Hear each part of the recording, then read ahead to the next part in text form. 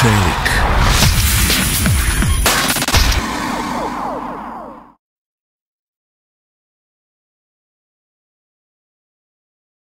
Poštovane dame i gospodo, predstavnici medija i ostali gosti, srdačno vas pozdravljam i želim vam dobrodošlicu na preskonferenciju neformalne grupe građana za Čelika. Moje ime je Emin Dedić, ja sam jedan članova ove neformalne grupe građana koja je radila na prijedlogu novog e, statuta nogometnog kluba Čelika. Danas ću obavljati ulogu moderatora ove preskonferencije na kojoj ćemo iznijeti pojedinosti ovog procesa, e, Zatim ćemo razjasniti prijedlog našeg statuta nogometnog kluba Čelik Zenica i njegove specifičnosti, E, onda ćemo najaviti e, naše sljedeće korake, te na kraju odgovoriti na sva vaša eventualna pitanja jel, koja budete imali da nam postavite. Ova preskonferencija održava se e, u simboličnih ne 5 do 12, nego 12 i 5, kada je jasno da Čelik kaska za svim tokoma i reformama, te nužno djelovati u hitnom maniru da bi se sve to ispravilo. Kao što vam je već ranije poznato, naša web stranica 3 puta www Eh, za celik.org aktivna je od 4. marta, dakle eh, od srede, gdje su vam odmah bile dostupne sve informacije vezane za trenutno stanje u klubu, planove izlaska iz dubioze u kojoj se naš klub nalazi, te naš prijedlog statuta. Tokom proteklih dana dobili smo veliki eh, broj pozitivnih reakcija koji su nas zaista obradovali i naravno svakako koji su nas ohrabile u našem daljem radu, ali smatramo da slijedi još mnogo, mnogo Eh, daljeg truda, rada eh, do konačnog rješenja, a to je ozdravljenje našeg voljenog kluba. Mi djelujemo kao eh, grupa simpatizera i drago mi je da smo uspjeli pronaći sugovornika kroz tijelo navijača, čiji predstavnice također danas ovdje nalaze sa nama. Nakon izloženih naših pojašnjenja, svakako odgovorit ćemo i na sva vaša pitanja. Prvo ćemo ukratko predstaviti trenutnu situaciju u klubu kako bismo još jednom naglasili suštinski pro, e, problem dakle, u kojem se naš klub trenutno nalazite. E, u nastavku preskonferencije, nakon ovog uvoda, riječ dajem kolegi Tarku Ajanoviću. Hvala Emine. Moje ime je Tarka Janović, ja sam jedan od e, članova inicijative e, za Čelik. Još jednom bi se također u svoje ime zahvalio što ste danas došli na preskonferenciju, tako na taj način odlučili da podržite naš rad. Da se predstavim, inače sam absolvent pravnog fakulteta, moja uža specijalnost je sportsko pravo i ja sam sa svoje strane dakle, pokušao da pomognem inicijativi u pisanju ovog statuta, naravno svakoj svoje specijalnosti je dao svoj doprinos. Drago mi je također, e, nadovezao mi se na ovo što je kolega Emil rekao, da smo pronašli sugovornika u navijačkoj grupi Robijaši Zenica. Mi nismo ljudi sa tribine, mi smo simpatizeri kluba koji ga volimo i koji smo odlučili na taj način e, da damo neki svoj doprinos i jako nam je drago što imamo tu podršku. E, kada govorimo o rješenju problema, prije svega jasno je da govorimo da sistematsko rješenje problema je potrebno da bi se riješila današnja situacija u klubu. A mnogi smo je pitali zašto sam se zapravo upustio u ovo, zašto smo svi mi odlučili da damo dio sebe u ovaj jedan projekat, u ovakvu inicijativu. I mislim da kada bismo počeli nabrajati e, probleme koji se u Čelku trenutno nalaze i da bismo mogli da organizujemo jednu posebnu konferenciju koja se bavi samo tim. No, međutim, evo krenimo od ovih najosobnijih stvari. Jasno vam je da je nogometni klub Čarli Zenica jedan od najzaduženijih klubova u zemlji. E, nažalost, još uvijek nismo dobili nikakvu informaciju od kluba da li je klub potpisao e, ikakav reprogram duga od 4,6 miliona maraka e, koji se mogao reprogramirati novim zakonom o otpisu dugovanja i kamata koji je izašao u maju ove godine. Nažalost, više puta smo pokušavali kroz javnost da saznamo takve informacije, ali ih nažalost nismo dobili od rukovodstva kluba. Kao što vam je poznato, ukupan klub, pardon, ukupan dug NK Čelik Zenica je 2012. godine u jedinom javnom izvještaju finansijskom koji je Skupštini kluba predstavio tadašnji direktor, jedino je objavio Zenica blog 2012. godine i to su nam neke elementarne informacije o kojima možemo da razgovaramo danas kada govorimo o zaduženju. Tadašnja zaduženja Čelika su ukupno iznosila oko 9,6 miliona maraka. Umeđu vremenu su, nažalost, vjerovatno još više porasla, pogotovo ako nismo potpisali taj reprogram za kakav još uvijek nemamo informacije. Dalje govorimo o klubu koji sistematski krši svoj statut, nažalost. E, kao što znate, Čelik već godinama nema svog direktora, već e, svaki šest mjeseci ili u tom nekom periodu e, imenuje vršioce dužnosti na tu poziciju, što samim tim krši svoj statut, E, ne dozvoljava očito ljudima sa svježim idejama da e, dopru do kluba i pokušaju nešto da promijeni. Mi apsolutno nemamo ambicije da se bavimo takvim stvarima, dakle ovo nije inicijativa koja se bavi da dođemo na te pozicije, nego da ponudimo sistem u kojima će se takve stvari poštovati. Dalje, kada govorimo o klubu, to je klub koji paradoksalno ne dozvoljava svojim simpatizerima i navijačima da budu članovi kluba. Naime, e, članu 12 trenutnog statuta kluba određeno je da svaki član, odnosno svaki građanin, može da postane član kluba, međutim, kroz naše silne napore, čak i razgovore sa a, tadašnjim direktorom kluba, nismo uopšte dobili konkretan odgovor. Vi kao novinari možete da nazovete klub i dobit ćete neko začuđeno pitanje, pa kao mi to ne radimo, to nam ne treba, zašto, kako. E, što je još jedan odraz e, nemara, nebrige, kada nemate nikakve, e, nikakvog sistema kako da se taj konkretan problem riješi. Dalje, kršenje statuta kao vrhovnog akta bi trebalo da bude sankcionirano od trenutne skupštine na momentu kluba Čelik Zenica, međutim to se evo već godinama ne dešava.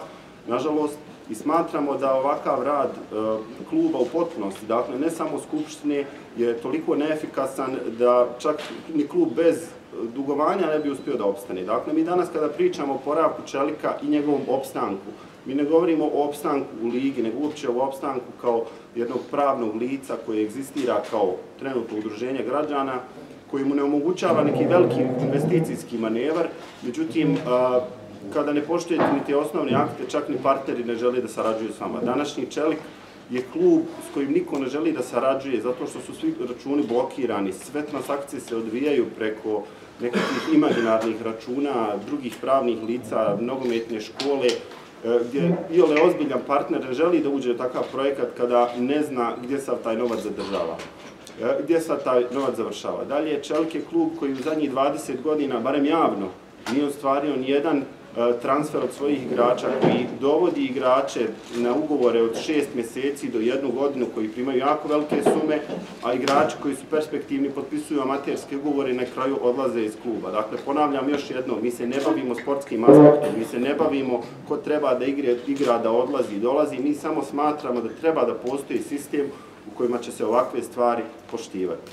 Dakle, kada postavimo sve ove probleme na, na jednu stranu, jasno je da se mora napraviti jedan radikalan rez u kojima ćemo uh, donijeti jedno novo rješenje, svi zajedno i kao simpatizeri, i navijači, i građani Zenice, koji ćemo svi zajedno stati iza tog problema i reći ne, mi se ne slažemo i mi smatramo da klub treba da funkcioniše transparentno, treba da ima sistem, treba da ima utvrđene ciljeve, planove. I jako mi je drago što smo pronašli sagovornike, prije svega kada sam se ja priključio inicijativi, drago mi je da je bilo ljudi koji su razmišljali poput mene, koji smo imali iste cilje, smatrali dakle, da je suštinski problem u manjku sistema i poštivanju trenutnog statuta, a da je također potrebno uvesti i nove modele poslovanja u sam klub kako bismo došli do jednog, ajde da kažemo, preporođenog kluba koji će biti e, usko povezan sa svojom zajednicom, koji će e, davati transparentne informacije o svom poslovanju, dakle klub koji je klub svih nas. E, jako mi je drago također što imamo već navedenu podršku e, navijača i svakako se nadamo da ćete nas i vi mediji podržati u našim nastojanjima, da okrenemo jednu novu strancu u poslovanju kluba, da okrenemo jednu novu strancu u e, percepciji Zenice kao sportskog grada, koja nažalost ima jedan jako trenutno loš klub i organizacijski i u sportskom smislu, kao što je Zenica primjer u drugim stvarima, tako da bude i o tome što je pionir uvođenja ovog sistema nogometni klub Čelik Zenica. Mi e, želimo samo da mijenjamo sistem, a dok smo radili ovaj novi statut, mi ovaj, nismo se trudili izmišljati toplu vodu, već upravo analizirati neki od uspješnih sistema te i pokušati prilagoditi našu situaciju u Bosni i Hercegovini, tačnije u Zemci. E, kao što vidite, to jest kao što ste čuli, problem je odviše kompleksan da se smjesti u jedno kraće dakle, izlaganje, gdje bi svaka od ovih eh, navedenih tačaka eh, zasigurno zahtijevala posebnu diskusiju eh, koju bi se trebalo posvetiti mnogo, mnogo više vremena. Sigurno sve vas najviše interesuje naša grupa, Dakle, ova sama inicijativa, neformalna grupa građana za Čelik i o, o njenom nastanku će nam također kolega Tarik Ajanović upoznaće vas, dakle, kako je grupa nastala, kako je došlo uopšte do ove ideje i do ove inicijative. Hvala. Ova inicijativa je formalno počela sa javnim radom prije, evo, 3-4 dana i to je jedan projekat na kojem smo svi zajedno radili pa posljednjih jedno šest mjeseci. Dakle, ova inicijalna ideja se javila u septembru, otprilike početkom ove sezone, kada smo vidjeli da se čak ni ove sezone nemaju nikakvi planovi, kada se ponovo nije objavilo da li imamo ikakav sistem e, vraćanja dugovanja i okupljanjem nekoliko istomišljenika, nas simpatizera koji smo od, iz svoje neke struke odlučili da, da barem na neki način doprinesemo. Mi smo i ranije na razne svoje načine inicijative pokušavali da pomognemo klubu, međutim, nažalost, nismo našli na a, odgovor s druge strane, tako da smo odlučili da sami poduzmemo neki korak i ovaj krenemo prema jednom boljem rješenju. U tim svojim nastojanjima mi smo se obratili navijačkoj grupi Rabijaši Zenica i jako nam je drago što su nas oni podržali. Mi smo tada pokušali direktno klubu da iznesemo svoje prijedloge. Tada je krajem septembra održan jedan sastanak sa tadašnjim direktorom Muhamedom Slamovićem Islamovićem, izvinjavam se, Muamerom Islamovićem i predsjednikom a, Skupštine nogometnog kluba Čelik Zenica Muhamed Pašalić. Mi smo govorili o ta neka dva najjednostavnija problema. Da li je potpisan reprogram duga? Ako jeste, nije. I zašto mi ne možemo da postanemo članovi kluba uh, ukoliko je to već utvrđeno statutom? A inače, članstvo u klubu omogućava svakog člana kluba da postane član skupštine. Dakle, mi nismo imali ambicije da postanemo članovi skupštine, nego jednostavno da se taj jedan put otvori prema ljudima koji imaju takve ambicije i koji bi željeli doprinijeti uh, oporavku kluba, svakako nadam da ih ima. Uh, u tom razgovoru nismo dobili nikakve konkretne informacije, nego nam je međutim obećano da ćemo moći da to prezentiramo na jednoj skupštini nogometnog kluba Čelik Zenca. Nažalost, evo kad vidi, kao što vidite, Eh, ona ni do danas nije održana. Eh, I jednostavno nekako, naš neki krajnji cilj je bio jednostavno da objavimo te svoje rezultate svog rada i da krenemo u jedan novi, eh, prema jednom novom, boljem čeliku prezentirajući rezultate našeg rada koji su sadržani u ovom statutu, odnosno u kasnijem poslovniku koji planiramo da objavimo, te planu razvoja nogometnog kluba Čelik Zenica. Naglasio bih da mi kao inicijativa, kao ni navijačka grupa Robijaša Zemca, apsolutno, kao što naši ljudi vole da kažu, e, ne igramo ni za kog, nismo niči igrači, nemamo apsolutno e, nikakvu podršku iza sebe, niti je tražimo da zastupamo nekoga, da uđe u klub na ovaj način, da investira, da bude direktor, predsjednik, apsolutno ne. Mi smo za otvaranje kluba prema svim svojim navijačima, prema svim svojim simpatizerima i građanima, e, pardon, građanima Zenice i dalje koji će željeti da postanu članovi kluba i koji će na taj način i finansijski doprinijeti e, klubu, a i angažmanom svojim u klubu da klub krene na, ne, u neke nove puteve. Dakle, nastupamo iskreno, nastupamo s jedne strane simpatizerski, s jedne strane navijački, ka jednom zajedničkom cilju, a to je bolji i zdravi čelo. Hvala. Nastala znači iz čiste, iz čiste ljubavi i želje, znači bez ikakvih drugih e, motiva, znači samo, samo želimo da, da, da u našem modernom klubu da se ta situacija uh, popravi i da, i da taj neki uh, Eh, da nogometni klub Čelik zadrži taj neki dobije i da zadrži pravilan e, kurs. Iskreno se nadamo da će ovakav iskren i, i, i konstruktivan, prije svega, pristup naići na podršku javnosti. E, kao što vidite, ovaj proces je nastojanje dva aktera, to jest naše neformalne grupe, svakako uz podršku navijača, dakle uz podršku navijačke grupe Robijaši 1988 Zenica, o tome će nam E, više reći Vladan Popović, e, predsjednik udruženja Robijaš 1988 Zenica i naravno član Skupštine kluba ispred tog udruženja i navijača. Izvog Vladan. Hvala. Dobar dan, pozdrav za sve prisutni. Ja sam Vladan Popović. Dolazim kao predstavnik Robijaša udruženja 1988 i kao predstavnik navijača u Skupštini kluba. Ovom prilikom znači, želimo da kažemo da smo mi Robijaši apsolutno za ovaj projekat, da podržavamo ovu inicijativu smatram da ovo je jedina prava stvar za oporava kluba, koji je godinama u dubiozi, koji je godinama nema budućnost. Znači, želimo da imamo po prvi put podvučenu crtu i da idemo naprijed.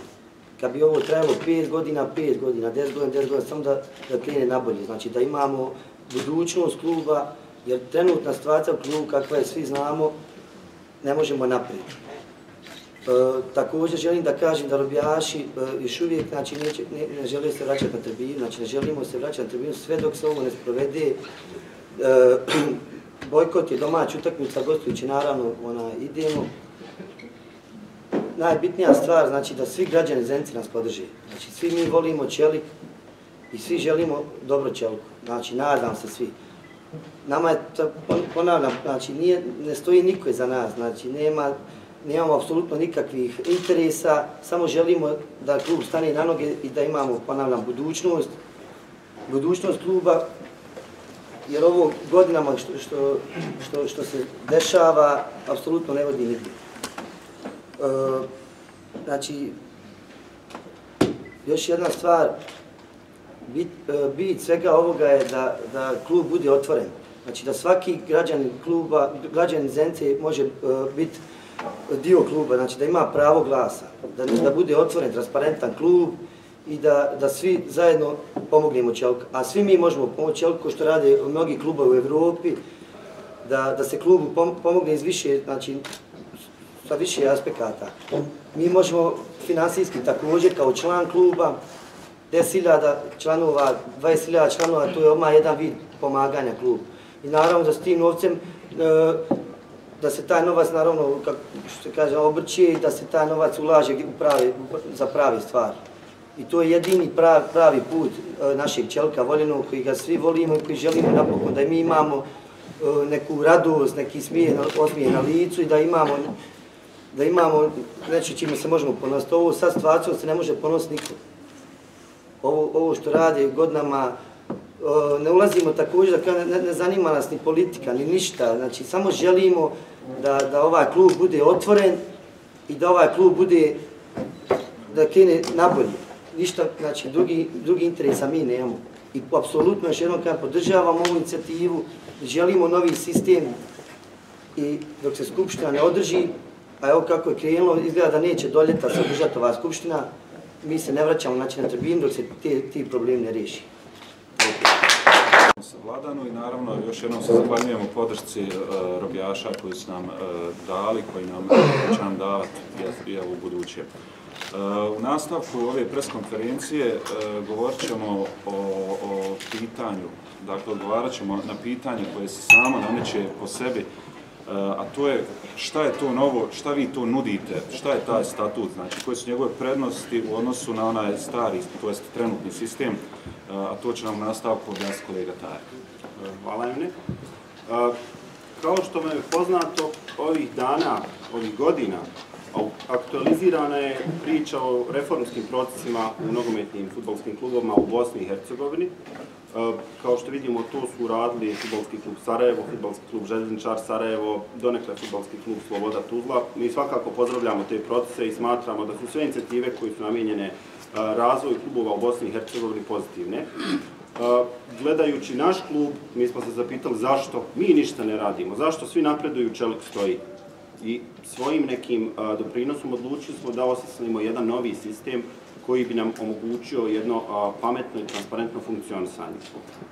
Mi smatramo da je jedan od načina izlazaka iz krize, odnosno jedan od temelja izlazaka iz krize, članski model, socios, koji se popularno zove jedan član, jedan glas. Taj e, sistem je u primjeni u Španiji, u Njemačkoj, u Švedskoj, u Portugalu i u posljednje vrijeme javljaju se takve inicijative u Hrvatskoj, u Engleskoj, u Poljskoj. Dakle, zemljama koje imaju jaku futbalsku tradiciju, koje već godinama postižu solidne ili vrhunske rezultate u ovom sportu, bez te potrebe, kao što mi uvijek govorimo, e, da dođe neko sa strane, e, da novac i na taj način stvori jedan klub koji je jak. Mi smatramo da se sistematskim radom mogu ostvariti velike stvari. Jako nam je drago da je, e, dok smo tokom ovog izrade ove, ovog statuta, pronašli sagovornike s druge strane, o tome, o tome će vam govoriti moje ostale kolege, Međutim, analizirajući i naš e, sistem i sistem drugih klubova, zaključili smo da je ovaj sistem najefikasniji. E sad nas mnogi pitaju šta vi tu zapravo nudite? Mi nudimo sistem u kojem svaki član kluba je automatski član njegove skupštine. Dakle, svi mi, svi vi odemo u klub, platimo člansku kartu, istom članskom kartom E, učestvujemo kao član skupštine. Svaki punoljetni građanin, bez obzira gdje on živio, ko bio, ima pravo da bude član kluba.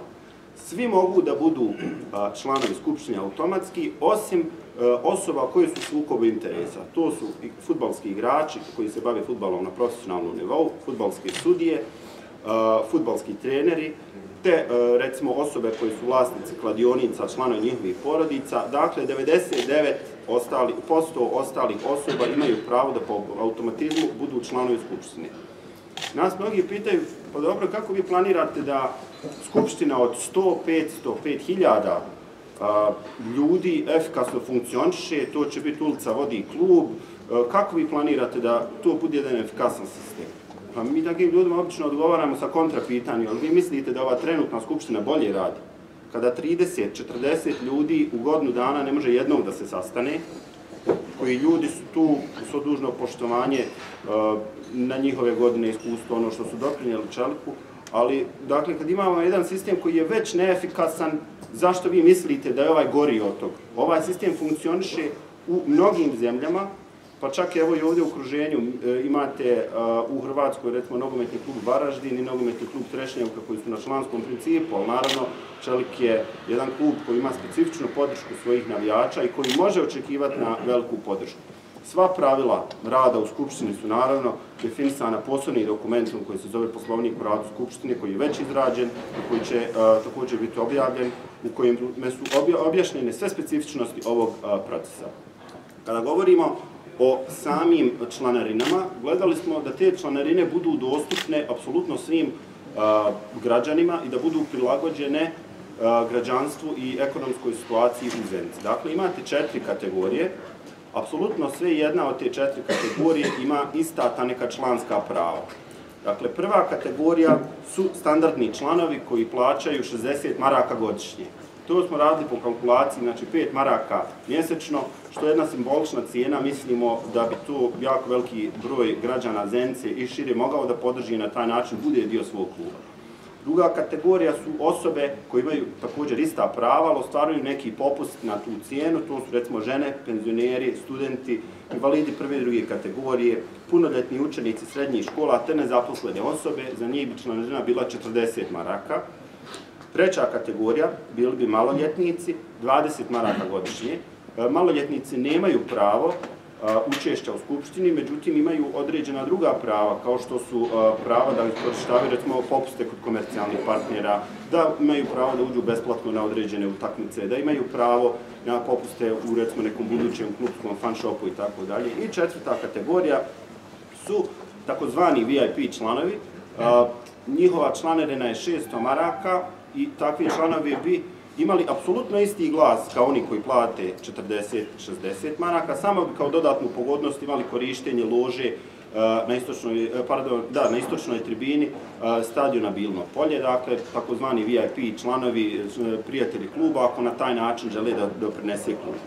Dakle, vidite, radi se o jednom dostupnom sistemu koji nikome ne bi bio nešto strano, dakle, gdje bi svako mogao da postane član kluba i na taj način učestvuje u njegovom radu tri glavna tijela koja mi danas imamo u klubu, ali koja ne djeluju koherentno sa zajedničkim ciljem, su Skupština, nadzorni odbor i upravni odbor. E, Skupštinu, kao što sam već rekao, čine po našem prijedlogu statuta svi članovi kluba i tako učestvuju u njenom radu. Skupština se sastaje jednom godišnje, između dvije sezone, a po potrebi je moguće organizovati njena vanredna zasjedanja ukoliko članovi zaključe da je to potrebno. Dalje, Skupština direktno bira članove nadzornog odbora i direktno glasa za predsjednika kluba. Dakle, jedan izuzetno transparentan i demokratičan sistem. Skupština određuje generalne ciljeve kluba, ne miješaju se u poslovanje upravnog odbora. Dakle, Skupština postavlja, recimo, naš cilj je da u narednih 5-6 godina vratimo 2 miliona maraka duga. Svaki upravni odbor koji dolazi mora da to poštuje. Skupština odredi Naš cilj je da u narednih 10 godina izgradimo jedan novi moderni omladinski pogon našeg kluba. I svaki upravni odbor to mora poštovati. Dakle, daje smjernice upravnom odboru, ali se ne miješa u njegov generalni rad koji ima slobodu e, da se dalje bavi tim pitanjima. E, skupština također e, je ona koja ima na uvid sve finansijske izvještaje, kao što smo rekli, samo je jedan u posljednjih ko zna koliko godina dostupan. Dakle, Skupštini se podnosi finansijski izvještaj da se zna tačno gdje je otišao investirani novac, na šta se potrošio, kome dugujemo koliko i apsolutno na šta možemo da računamo u budućnosti. Nadzorni odbor je tijelo dakle, koje je izabrala Skupština, sastoji se od 7 do 11 visoko obrazovanih članova.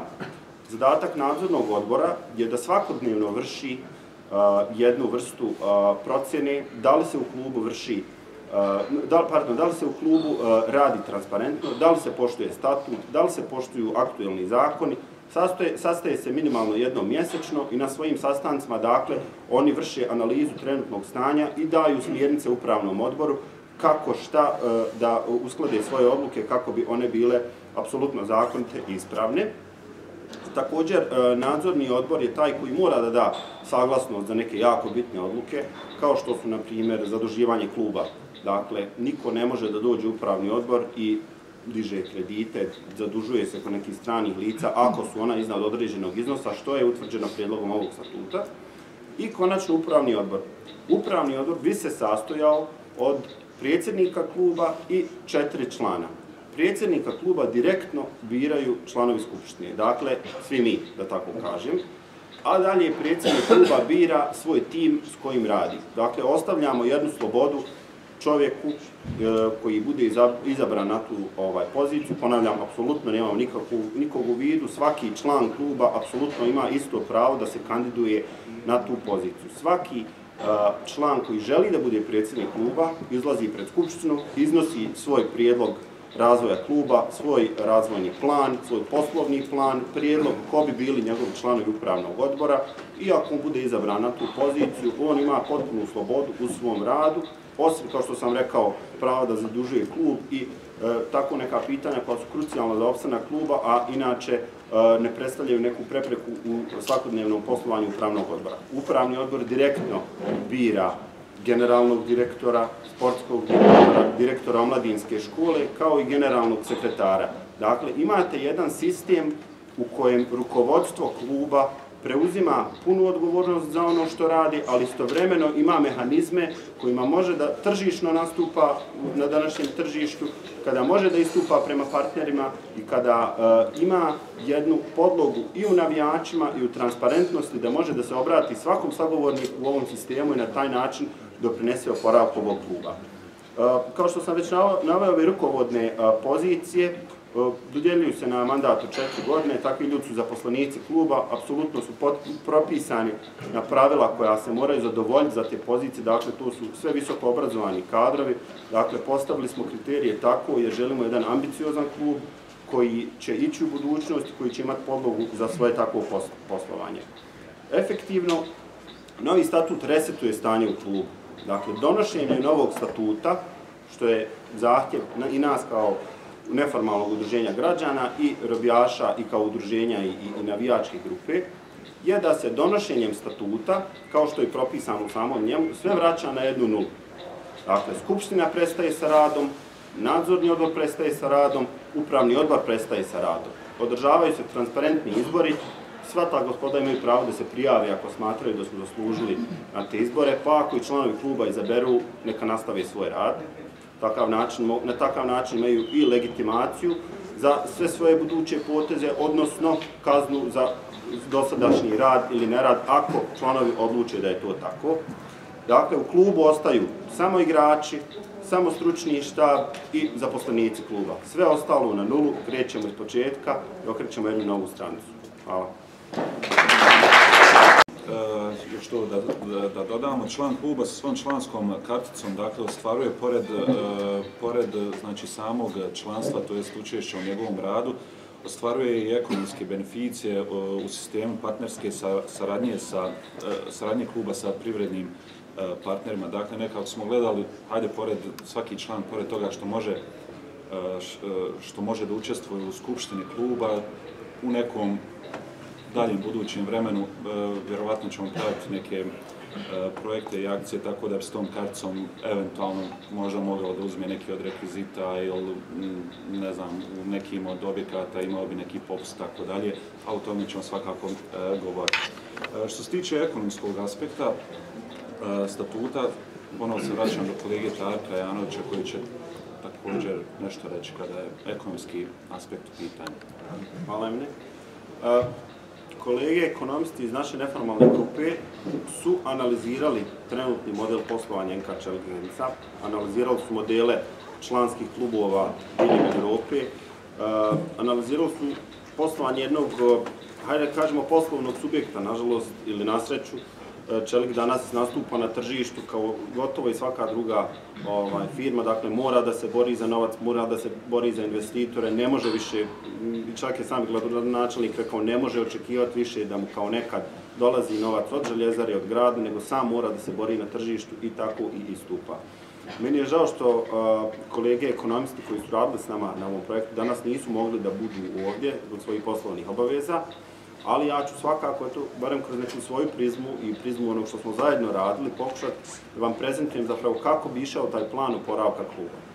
Dakle, nas su mnogi pitali da li vi smatrate da će članarinama klub da se oporavi? Apsolutno ne. Dakle, članarine sva, sav novac koji se zaradi od članarina ide direktno u klub i troši se na ostale projekte, ali to nije osnovo poravka kluba, to je njegova pretpostavka. Dakle, ne ovaj finansijski dio, nego dio koji omogućava svima uh, uvid i transparentan jedan odnos kluba i njegovih, hajde da kažemo, pod navodnicima i debelim navodnicima ulagača koji daju svoj novac za tu članarinu. Mi smo kao što je kolega Kemal rekao, kontaktirali druge klubove i analizirali njihove sisteme, analizirali odnos uh, građana, broja građana, odnosno stanovništva u jednom gradu i članstva u klubu. Zaključili smo da je neki prosjek u Evropi 0,6% građanstva svakog grada uh, ima člansku karticu u klubu. To bi odnosno na Zenicu bilo nekih 800 članova. Dakle, to je neki prosjek evropski u tom sistemu mi smatramo da bi klub nekih 35.000 maraka zarađivao na osnovu tih članarine, dakle, jedan poslovanje kluba zanemarev iznos. Međutim, kao što sam već rekao, članarina nije pretpostavka finansi... članarina jeste pretpostavka finansijskog oporavka u smislu da daje u transparentnost, ali finansijska sredstva koja se ostvare na taj način nisu presudna za oporavak kluba. Ako bismo išli da postavimo stvari malo na jednu višu stepenicu, Čelik je specifičan klub, Zenica je specifičan grad, usko vezano za svoju zajednicu, koja na jedan način e, je već evo, decenijama pokazala koliko živi za taj klub i koliko je spremna dati sebe i svoja sredstva kada se cijeni taj njihov trud. Ako stavimo jedan izuzetno ambiciozan plan, plan pred nas, koji bio recimo 5000 članova, za koji mi smatramo da je u Zenci ostvariv godinama, naravno, ne odjednom, treba će vreme da se povrati povjerenje u klub, tada očekujemo recimo da bi na, samo na taj način klub mogao da ostvari 200.000 maraka godišnje. Ponavljam, opet, tu nije osnova oporavka kluba, to čini 10 do 15% trenutnog budžeta, po našim istraživanjima trenutni budžet kluba iznosi oko 1,2 miliona maraka. Dakle, 200.000 maraka nije novac na kojem se klub uporavlja, ali jeste, jesu neka sredstva u kojima se može krenuti dalje neke projekte. Razvojni plan kluba, koji su izrazile naše e, kolege ekonomisti i mi svi zajedno, nije rađen izmišljanjem tople vode, da smo se mi nešto pravili pametni, nego smo analizirali kako to rade drugi i po time prvenstveno mislim evropski klubovi. Dakle, stvari koje se koriste uh, već 50 godina na raznim stadionima diljem Evrope, uh, mehanizmi uh, investiranja i istupanja prema partnerima, dakle, kako da vi se borite za novac koji egzistira bilo u vidu sponzorstva ili nekog drugog partnerstva, Dakle, da imate jednu pretpostavku na koji, na koji način možete da izvučete klub iz krize. Mi imamo gotov razvojni plan, kao što ste mogli vidjeti na našoj web stranici. Taj razvojni plan ima skoro sad 50 projekata koji mogu da se provedu u nogometnog kluba Čelik Zenca danas da je usvojen statutno. Dakle, danas bismo mogli krenuti sa kluba. E, svi su apsolutno navedeni sa referencama, dakle, konsultovali smo pravni stručnjake iz Bosne i Hercegovine, ekonomske stručnjake, razgovarali smo čak sa ekonomskim stručnjacima koji se bave sportom u inostranstvu, konsultovali smo stručnu literaturu iz sportskog prava, sportskog marketinga, pa i sportske ekonomije na kraju krajeva. Dakle, sve smo naveli sa referencama, odakle smo izvukli te podatke. Taj razvojni plan kluba neće biti dostupan klubu dok god ne uvede i ne izglasa novi sistem i novi statut. Zašto? Smatramo da provođenje tog reformskog procesa u smislu razvojnog plana kluba bio neefektivan u ovakvom sistemu. Dakle, vi možete da uradite dva, tri, pet projekata iz te ovaj, suštinske grupacije, međutim, kada nemate povjerenje nas kao simpatizera, navijača, građana, nećete postići apsolutno nikakav efekt. Dakle, kada mi svi znamo gdje naš novac ide u tom klubu, u kojem smjeru, onda možemo očekivati da će klub krenuti nekim novim putevima oporavka mi Čelk vidimo kao jedan modern klub koji istupa prema svojoj zajednici, dakle koji nije tu samo da traži novac od njih, nego da je vraća. Mi vidimo Čelk kao klub koji sarađuje sa univerzitetom u Zenici, pa onda fino daje studentima završnih godina, recimo ekonomije ili prava, da stažiraju u klubu, da steknu neka znanja, da na taj način učestvuju u njegovom klubu. Mi vidimo Čelik kao klub koji sarađuje sa drugim subjektima, to može da bude bolnica, da organizuje e, akcije darivanja krvi, koji može da organizuje humanitarne akcije, koji istupa prema e, domu za nezbrinutu djecu, koji im pruža priliku da besplatno treniraju u klubu, koji im pruža e, priliku da putem svojih kanala steknu neka osnovna obrazovanja. Dakle, klub koji je apsolutno integralan dio zajednice i koji predstavlja suštinu povezanosti i čelika i zenice koja je prepoznatljiva u cijelom ovom regionu, cijeloj bivšoj Jugoslaviji, jer kad kažete Zemca, prva asocijacija vam je čelik. I mi vidimo takav čelik, mi vidimo jedan novi moderni čelik i nadamo se da ćete nam svi mi, svi vi pomoć u putu da dođemo do njega i ostvarimo napredak u svemu. Hvala. O jednom zaista promišljenom i ambicioznom planu koji će svoj puni kapacitet svakako tek, e, tek ostvariti e, uz usvajanje ovog novog statuta. E, za tako nešto nam je potrebna podrška svih vas, potrebna nam je podrška javnosti, a više o tome reče nam naš kolega Ahmed Buro, inače momak koji je bio zadužen za prezentaciju dakle, statuta, planova i svega, kada je u pitanju internet, dakle, od web stranice, e, tri puta duplo veza celik.org preko socijalnih mreža, Facebooka, Twittera i tako dalje. Dakle, malo će vas više upoznati na kakav smo uh, feedback naišli kada, kada je u pitanju internet i sama komunikacija. Hvala. Ja sam Ahmed Buro, grafički dizajner i webmaster inicijative za Čabu. Istakao bi zadovoljstvo pozitivnim odnos, odnos, odzivom javnosti, pardon, gdje smo četiri dana imali oko 10.000 učitavanja naše web stranici. E, na društvenim mrežama smo također našli na pozitivan odnos i u prvi 12 sati smo imali oko 1000 lajkova. E, danas je to oko 2300, čini mi se. E, posebno nas raduju pisma podrške preko maila e, ljudi iz Bosne i Hercegovine, grada, Zenice i inostranstva. Znači, imali smo dakle podršku sa svih strana i iz cijelog svijeta pisali su nam sa raznim prijedlozima, sa upitima pomoći, obećavali su nam da će postati članom kluba. E, ohrabrujemo sve građane, navijače, simpatizire Čelika da nam se javi putem, pute web stranice i putem maila. Dakle, web stranica www.celik.org, a mail je kontakt E, zahvaljujem na pažnju. Kada pričam To je bio nahvaljujemo e, i prije nego što prijeđemo na vaše pitanje, ukoliko ih bude, svakako ostaje još jedno pitanje. E, to ostaje još jedan segment ove naše prezentacije. našeg, naše, e, naše inicijative i samog statuta, a to su svakako budući koraci naše grupe nakon čega ćemo dakle, odgovarati na vaše pitanje. Tak, hvala. E, hvala, Emine. E, ja sam već ranije govorio da je ova inicijativa, čitav ovaj projekat, znači na snazi već gotovo pola godine. E, mi smo ranije te svoje planove, iako nismo govorili direktno o statutu, boje, o statutu, bojeći se da se ta skupština neće odr- ni održati, pretpostavljajući da ćemo naići na razne obstrukcije koje su nažalost kasnije desile. Uh, mi smo održali krajem septembra, kao što sam već rekao, jedan sastanak sa tadašnjim uh, vršiocem dužnosti uh, vršiocem dužnosti generalnog direktora kluba i predsjednikom Skupštine NK Čelik Zenica. I tada smo ih upravo pitali o a, dva glavna problema. Da li smo potpisali reprogram duga, da li vraćamo dug i da, zašto ne možemo da postanemo članovi kluba po trenutnom statutu.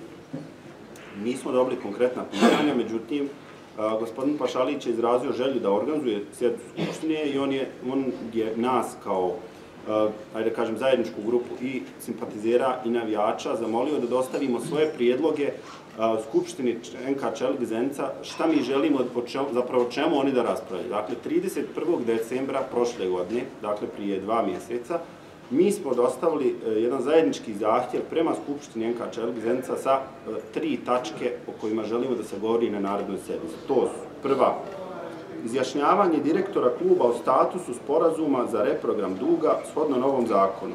Dva, izjašnjavanje direktora kluba o statusu e, servisiranja eventualnog reprograma kao i ostalih redovnih poreskih i drugih obaveza kluba u cilju nestvaranja dodatnih dogovanja I tri, rasprava o statutarnim i razvojnim reformama u NK Čelik Zenica. Nažalost, e, Skupština se nije održala. E, po riječima predsjednika Skupštine, e, upravni odbor još uvijek nije dostavio očitovanje ove prve dvije tačke. Da li oni ne žele ili ne smiju da odgovore na ta pitanja, ja u to ne bih ulazio, ali smatramo da je krajnje vrijeme da se pokaže neka vrsta odgovornosti prema samom klubu. Vi kao što znate, zakon, dakle o kojem govorimo, je donesen ove godine, pardon, prošle godine. E,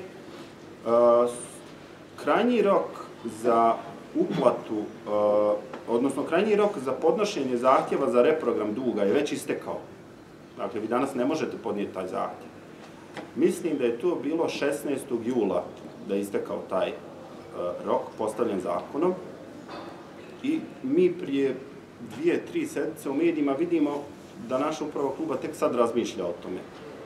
Dakle, da li je to jedan razlog zašto se oni ne žele očitovati o tom pitanju, ja ne znam. Pa svakako se nadamo da ćemo svi zajedno saznati te odgovore.